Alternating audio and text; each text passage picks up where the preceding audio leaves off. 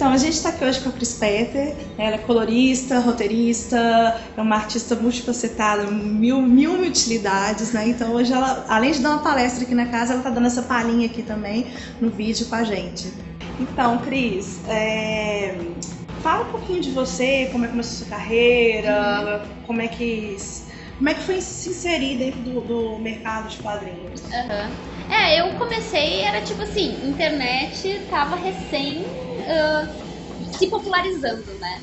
E aí a gente entrou naquela, eu e um grupo de amigos, né, que a gente meio que estudava desenho juntos e tal. A gente meio que foi se embrenhando ali naquele mundo dos fóruns, aprendendo a mexer em programas, vendo como é que era o mercado de webcomic e assim a gente começou a entrar no mercado de webcomic fazendo uh, quadrinhos e assim foi, né? Tipo, uma coisa foi levando a outra e eu tinha o quê? Uns 17, 18 anos na época. E aí eu acho que essa coisa de pegar a internet meio que no início da popularização meio que deu uma ajuda, assim, né? Na hora de, de, de realmente se inserir, porque estava muito mais acessível mandar e-mail para editora, entrar em contato com as pessoas. Era um pouco mais acessível do que é agora. Uhum. No caso, assim, como você trabalha tanto no mercado nacional como internacional, como é que você vê essa diferença entre esses mercados, por exemplo, o mercado europeu, mercado americano, mercado brasileiro? Eu não tenho uh, experiência, assim, porque os quadrinhos que eu tenho que estão publicados na Europa, eu publiquei em outro lugar e, sabe, estão sendo uh, importados, exportados para lá, exportados para lá. Então, com o mercado europeu eu não tenho muita, muita, não tenho conhecimento assim. Mas a diferença do brasileiro para o norte-americano é gigante. Assim primeiro lugar, a demanda é muito maior.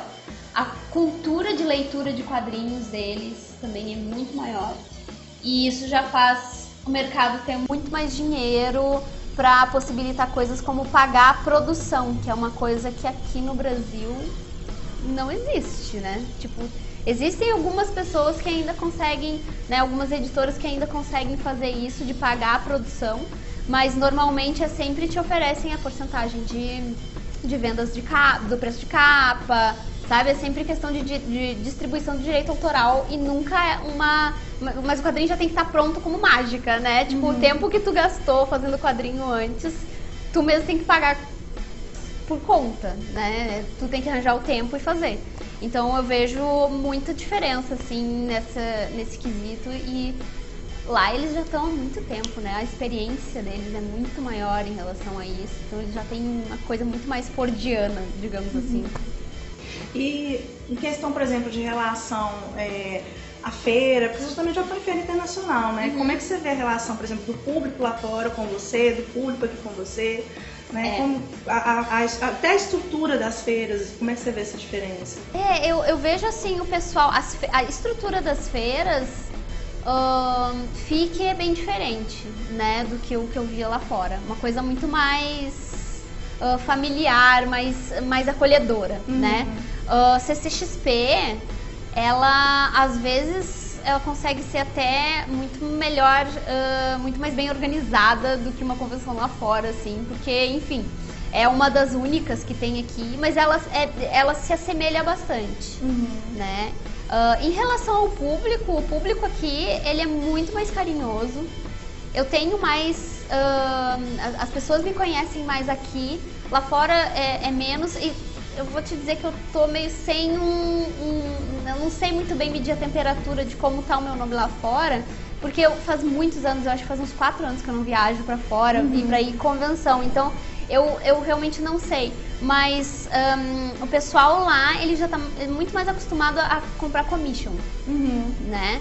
Eles são muito mais frios e são muito mais na lata, sabe? As coisas que ele fala, eles falam que eles não gostam, ou vão lá, fazem uma pergunta pra ti, vão embora, viram as costas, como se fosse só um objeto ali, sabe, na convenção. E o público brasileiro, ele vem mais bater papo, quer descobrir mais coisa. Então, é, é, é outra relação, assim, é totalmente diferente. E quando você vai, por exemplo, você vai trabalhar, você trabalhando tanto com editora grande quanto é, trabalho autoral, como você vê, tem uma diferenciação no processo de trabalho, né, quando você vai fazer uma coisa sua, ou, por exemplo, de alguém que é mais próximo de você, sei lá, uhum. Gustavo, né? Tem uma, uma diferença na relação do, do trabalho, assim, processo? meu, assim, o meu envolvimento emocional, quer é, dizer, com o trabalho. Seu movimento e o processo criativo também. Sim, olha, o processo criativo é basicamente o mesmo, assim, pra te dizer. Não é, uh, não é muito diferente, porque em questões de prazo, uh, se assemelham, né? Uh, os prazos lá fora, pelo menos os que eu pego, não são tão apertados. Então eu consigo fazer um bom trabalho e automatizo bastante meu serviço porque eu consigo separar um pouco, né? Uhum. Eu consigo separar um pouco. Um, eu, eu acho que não tem muita diferença. É claro que com os meus projetos autorais, as coisas que eu faço escrevendo, o, o, é outra história, né? Porque é, outra, é outro trabalho completamente diferente de colorização. Colorização para mim já está muito mais automatizada, eu consigo simplesmente abstrair né? Que se é para um mercado ou outro, eu consigo abstrair isso e simplesmente colorir página, uhum. né? Porque a minha preocupação é sempre fazer um bom trabalho em cima da arte que está ali, então sempre vai ser diferente, né? Para um ou outro. Uh, então, não, em matéria de qualidade, eu não acho que, que, que exista assim, né? Tipo uma, uma diferença. Acho que pós-publicação é que a gente sente um pouquinho mais a diferença, uhum. sabe? Não tanto durante o processo de trabalho é mais, é mais depois da publicação, assim. E quando você vai é, tá mexendo num projeto, como é que você faz para pensar a questão da, da, da, paleta de cor, né? Como é que você vai aplicar aquilo? Isso aqui é uma coisa que às vezes já vem prévia para você, do editor, ou você, a escolha é sua? Não, não, a escolha de paleta é, é, totalmente minha. A gente tem os nossos vícios, né? Cada colorista tem o seu vício. Uhum. Então a gente tem alguns coringas, né? Algumas combinações coringas que a gente sempre faz é, eu sempre acabo escolhendo a paleta na própria página, eu não faço nenhum estudo prévio. As orientações que eu recebo dos editores e dos artistas normalmente são mais voltadas uh, para. Na verdade, são mais voltadas para o estilo de, de, de, render, né? Que é a aplicação uhum. de um sobre que eu vou, que eu vou usar ali. Mas eles não interferem muito, assim. Eu vou te dizer que é mais pós. Depois que eu, que eu colorizo tudo e entrego, é que vem os notes, né? Que a gente uhum. chama. Que aí tem alguma modificaçãozinha ou outra, do tipo, ah, eu acho que aqui uh, tem que mudar a cor do, da roupa do personagem. Mas eu nunca tive. Eu já tive trabalhos que me deram mais trabalho. Uhum. Normalmente parte do, do desenhista, se ele já está acostumado, se o desenhista sabe colorir, é pior é horrível. É, é, o pior parceiro de, de trabalho que tem. Porque ele começa a desenhar e já enxerga colorido na cabeça dele. Se não faz exatamente igual ao que ele imaginou, ele começa a querer mexer no teu trabalho. Então tem que, né, a gente tenta manter uma sempre um, um diálogo onde eu digo assim, é, cara, eu não tenho bola de cristal, né? Se tu quer que eu faça as coisas de determinado jeito, tu vai ter que me mandar uh, anotações antes de eu colorir uhum. as páginas, porque agora eu não vou colorir isso aqui de novo. Então, uh, é, é, em matéria de equipe, eu acho que é isso, assim, a relação. Mas eles não interferem muito, assim. Uh, acho que é isso. Questão de ambientação, às vezes, eles não deixam a gente ambientar muito para não modificar muito as coisas dos personagens mais estabelecidos, né? Mas é pouco, assim. Mas isso sempre foi desde o seu começo de carreira ou, ou você vê que teve uma diferença à medida que você foi fazendo no mercado? Acho que foi desde o início, porque eu sempre tive colegas, né, que, que me ensinaram a, a impor os meus, uh, as minhas condições. Uhum. Né? Então eu sempre me, me preocupei com isso, né? Então, se o prazo está muito apertado, eu não vou vir à noite para fazer. Eu não aceito trabalho. Então eu já, já sempre tive influências que me, que me disseram isso, assim, ó. Trabalha na honestidade, não fala que. Porque tem, tem muita gente que diz assim, diz sim pra tudo e depois se vira. Não, é a pior tática que tem. É a pior tática que tem e é uma coisa que só vai te prejudicar. O cliente não tá nem aí, só vai partir para um outro profissional e era isso. Uhum. Agora, uh, se tu coloca os teus limites e diz assim, não, consigo fazer tantas páginas, mas toda essa edição nesse prazo curto de tempo eu não consigo. Né? E às vezes vale mais a pena perder dinheiro para uh, poder colocar essa condição, porque os editores não ficam magoados, sabe? Uhum. Eles não estão preocupados que, ai meu Deus, me disse não, nunca mais vou sair, vou, vou convidar essa pessoa para colorir alguma coisa para mim. Não é assim, eles veem isso como um profissionalismo, porque uhum. tá dizendo que não tem condições de fazer. Uhum. Agora, se tu aceita e não consegue entregar, ou entrega uma qualidade baixa porque tu tá fazendo o trabalho cansado, é muito pior. Isso sim queima o teu nome no mercado. E é, você tem uma, uma série autoral sua, né, que é o Patas Sujas. Uhum. E aí eu queria saber como é que foi esse processo de sair da questão do desenho, da cor, para ir para a parte de escrever, uhum. né? Tanto Patas Sujas quanto o seu livro também. Como é que teve essas, sentiu essa necessidade de, de dar uma voz ao, ao aos seus pensamentos, suas histórias? É, eu desde adolescente sempre gostei muito de escrever. Eu, uh, eu, eu, tenho uma amiga até hoje, a Ariane, né? E a gente era colega de colégio e a gente já escrevia muita coisa e ficava lendo uma para outra que a gente escrevia.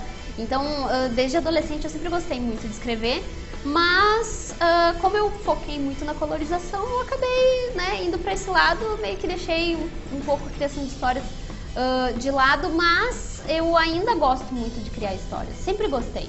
Só não me especializei tanto em matéria de roteiro, apesar de sempre ser uma pessoa que uh, percebe muito uh, as histórias dos outros, né? Porque como eu tô sempre trabalhando com histórias, eu, eu sempre fui muito crítica dos trabalhos de roteiro dos outros, tanto os que eu coloria como os que eu vejo na TV, série, essas coisas assim. Então, eu sempre gostei muito de criar histórias e teve uma, uma uma hora assim que só colorir já não tava mais sendo tão interessante para mim. Uhum. Então eu tava querendo tirar as minhas ideias da gaveta e ver o que, que o público achava, sabe? Uhum. Pra ver, testar mesmo, né? Se eu sabia escrever ou se eu não sabia. E uh, a minha ideia foi, beleza, se eu sou colorista, eu não vou poder simplesmente lançar um quadrinho com o meu nome que a galera vai entendeu? Não vai ser relevante, entendeu? A Cris é colorista, não é roteirista. Então, eu imaginei que eu deveria fazer uma transição. E a transição que eu vi, já que eu gostava muito, sempre gostei muito de, de ensinar, uhum. a transição que eu vi, a brecha que eu vi foi: vou fazer um livro teórico, porque eu me diverti tanto fazendo a minha monografia durante a faculdade, uh, que de repente, se eu faço um livro teórico, eu já mostro que eu sei escrever com uma expertise que as pessoas e o público daqui já sabe que eu tenho, uhum. né? Que é colorização. Então uh, eu comecei com o uso das cores meio que por isso, assim, né? Então, uh, pra já engatar, né? No, na, de, pra depois uh, fazer a transição para histórias e roteiros de, de quadrinhos mesmo, assim. E vamos ver, eu acho que o, o, pessoal tá gostando. É uma pena que, né, como é um trabalho que tu faz na raça, com, próprio, uhum. né, com dinheiro do próprio bolso. É uma publicação que sai um pouquinho mais devagar do que eu gostaria e é uma história que eu queria contar com respiro, né? O Patas Sujas, no caso. Uhum. É uma história que eu queria contar com respiro, não queria contar de qualquer jeito, porque uhum. se é para eu começar a escrever, eu escrever direitinho, não vou escrever de qualquer jeito só para publicar um negócio. Então são oito edições e a gente está indo para quarta.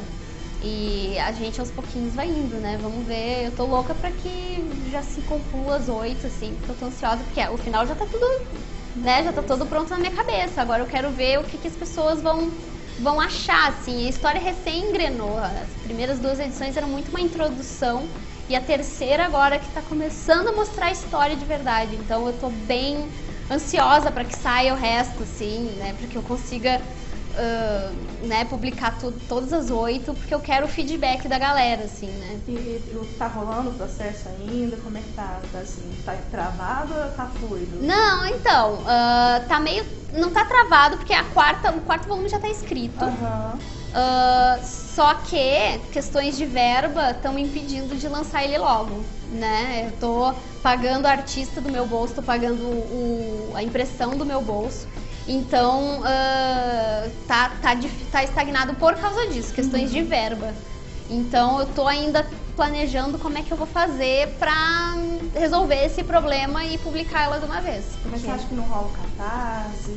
Olha, eu acho que o Catarse já foi muito mais popular do que ele é agora, né?